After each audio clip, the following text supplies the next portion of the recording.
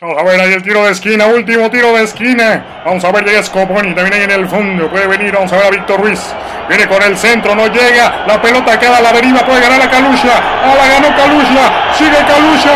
Solo Calucha. Solo Calucha. Solo, solo, solo, solo. Tiro. ¡Qué pendejo! Pendejo, pendejo, pendejo, pendejo. El árbitro dice, no mames, no me la creo.